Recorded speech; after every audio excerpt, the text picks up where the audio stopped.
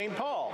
Mr. Speaker, it's important to remember that the Ambassador Bridge and Coutts Alberta crossings were cleared before the Emergency Act was invoked. The act was not needed to clear the bo- border blockades. Police were well equipped to take care of this with all of their existing laws and powers. So what then was the national security threat that met the extraordinarily high threshold needed to invoke this act? Is there something they're not telling us, or was the Prime Minister trying to cover up for his incompetent management of the protest, Mr.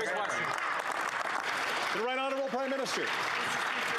When illegal blockades hurt workers and endangered public safety, police were clear that they needed tools not held by any federal, provincial, or territorial law.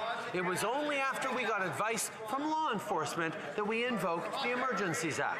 The Canadian Policing Association, Canadian and Ontario Associations of Chiefs of Police all agreed this is how the legislation should be used for emergencies. We've now announced the independent inquiry to examine the circumstances that led to the declaration and the measures taken in response. I know we all look forward to Justice Rouleau's work.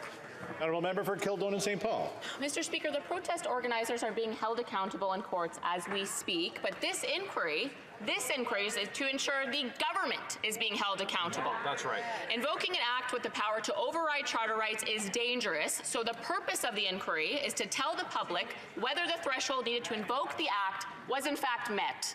But the Liberal government has not made a convincing argument, meaning the threshold remains in serious doubt. So either they're hiding something or they're covering up for incompetence. Will the Prime Minister waive cabinet confidence and let Canadians know the true story? Yeah?